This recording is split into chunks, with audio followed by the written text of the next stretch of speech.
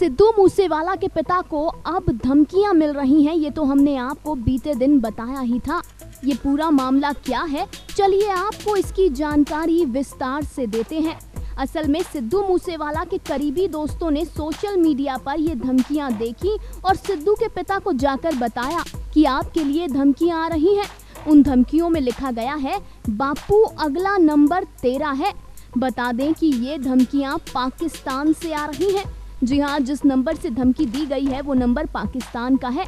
जानकारी दे दें कि सिद्धू मूसेवाला के पिता ने इस बात की खबर पुलिस को दे दी है और पुलिस मामले में तहकीकात कर रही है। सिद्धू के पिता की सिक्योरिटी भी बढ़ा दी गई है।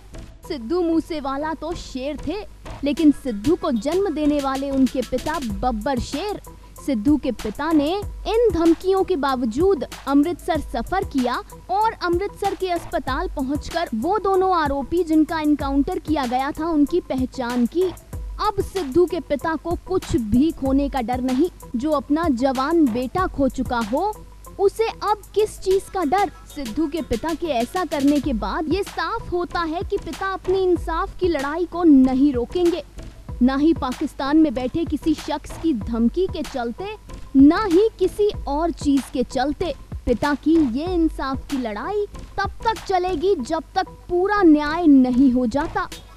Final cot news desk